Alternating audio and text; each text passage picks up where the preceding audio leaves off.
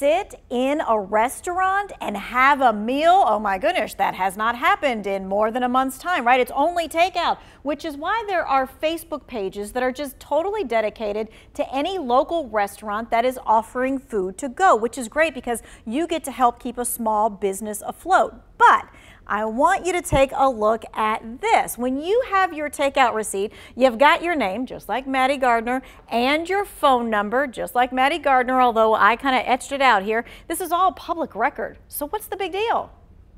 The danger is that scammers could take that information and pretend that they're calling from the restaurant that you order takeout from. And they could say something like, We're giving refunds or we're giving rebates to our really good customers. We don't have your credit card number on file. Can you just read it to me over the phone and we'll get that all taken care of for you?